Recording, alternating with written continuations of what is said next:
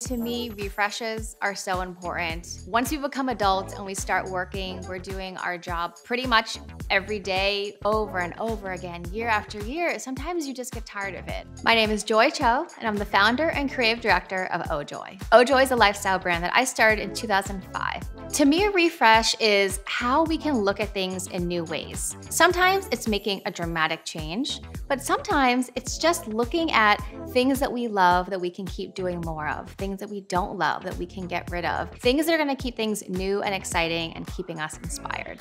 Whatever it is you might be going through in your life, I'm gonna show you five tips for refreshing your career.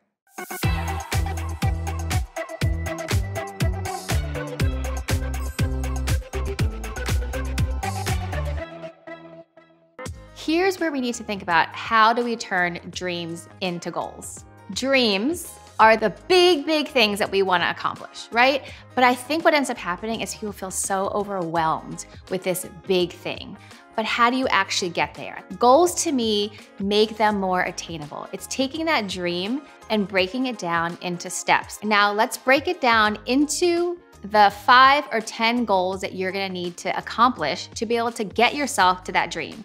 They might be step by step, they might be all separate. Whatever it is, let's take a look, write them down because it's gonna help you see all the things that might need to happen beforehand. And then one by one, you can approach it and see what makes sense to start with what feels attainable right now, what feels like you might need a little bit more work or time or practice to get to, and that will help you put a roadmap together to slowly get to that dream.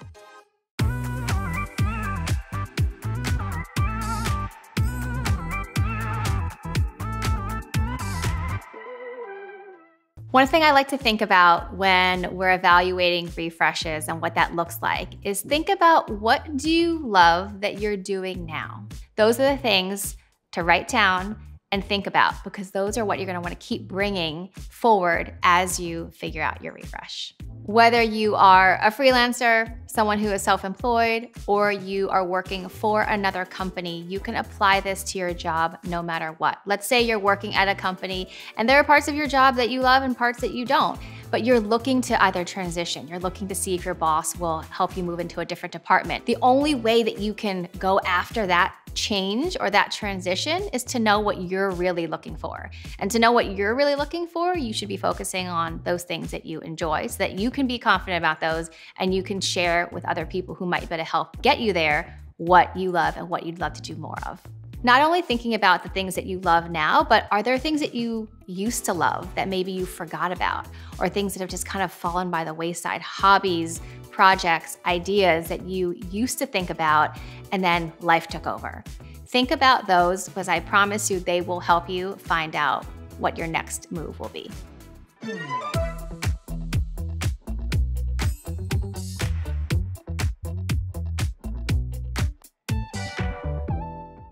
Just as we were thinking about what are the things that we love that we want to move forward with in a refresh, let's also think about the things we want to leave behind.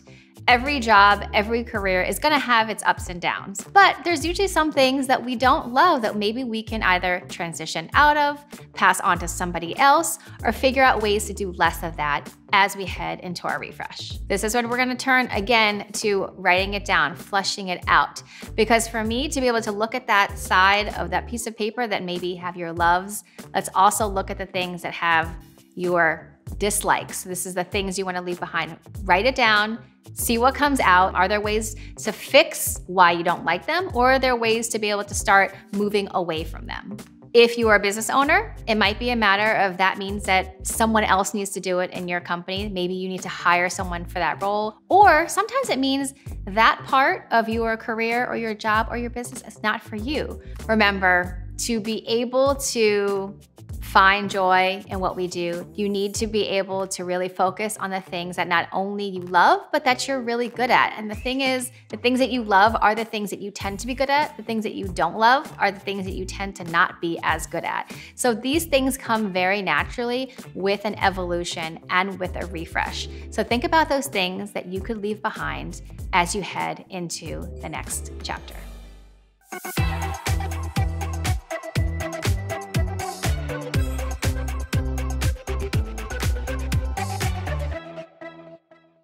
Now that we've taken our dreams and put them into some actionable goals and done a bunch of self reflection, we're gonna do some research so we can move confidently into the next phase of our refresh. We want to be able to figure out either how to learn it, who we can ask, who we can interview, any of those things to help you get the experience, the know how, the skills to be able to do that next thing you want to incorporate into your job and into your career. It might be something that you just need a little brush up. Maybe it's something like photography that you did a really long time ago, but you haven't worked on your skills in a while. Easy, you can take a class. Or what if it's something where you like the idea of a job, but you don't really know how it works? You wanna see the inner workings. That's when you can go and see whether it's people you know, people who you follow on social media to get a better idea of what is actually involved. Here's an area where research helped me to figure out a refresh in my career. I was designing graphics and logos and lots of things for other brands, I realized I really wanted to design some physical, tangible products. I knew that required a lot of upfront capital, which I didn't have. And so I thought that I could do it with a stationery line because paper is a little less expensive than pretty much anything else that you need to manufacture. I had to do a lot of research to figure out how that actually works and if I could actually do it. I emailed and I called different people who had stationery lines that I knew about through social media. I talked to people who ran stores and I did various types of research to realize not only was it way more work than I realized, but that I actually was up for the task of doing that work. So within a couple years, I did launch my own stationery line at a trade show. And I had done that because I was prepared having done all the research leading up to it. So, research really is the key to me to evolving your career, to refreshing it to a place that is going to make you really excited in this next phase of your life.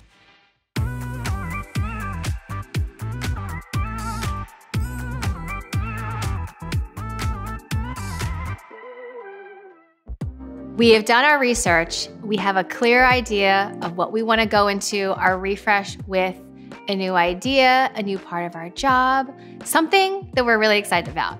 Now, here's the time that we want to show people what we can do. Let's say you're a graphic designer at your ad agency and you want to do more illustrations. Your boss hasn't seen that you know how to draw. They have no idea. So show what you can do. Show some illustrations for an example project that a client would need. This is how your boss is going to know that you could do it and potentially transition into that role. Don't be afraid to take advantage of what I call word of mouth, right? So, word of mouth is when you tell people about your new business, this new thing that you can do. Word of mouth to me is to be able to share that online. So, you might not have the ability to share your new work in a physical setting, but let's say you can show some of that work examples on your Instagram, on your personal Facebook, on your LinkedIn, and whether it's sharing with the people directly involved in helping you transition, or whether it's people who are gonna help you just give you positive affirmation that the stuff that you're doing is exciting and that they're showing how proud they are of the work that you've done. Showing the things that you figured out that you wanna do is going to be how you're going to get it out there, how people are gonna find out, and how you're gonna be able to grow into this next role and this next phase. When we're thinking about a refresh, remember, it's all about taking those big dreams and putting them into actionable, smaller goals. It's about thinking about what we love and what we want to do more of, then thinking about what we want to put to the side and maybe leave behind. Then doing the research and figuring out what's involved to get you to the next level, and finally showing people what you can do. There's gonna be a time, multiple times throughout your career, that you are gonna feel the need to change things up. So I'm so excited for you to take these tools and learn what that is for you and go off to your next refresh. I can't wait to see it. If you enjoyed this video, click below to see my Skillshare class on how to pitch to brands that you wanna work with. Thanks for watching. If you enjoyed this video, feel free to like and subscribe to stay up to date on all of our latest videos.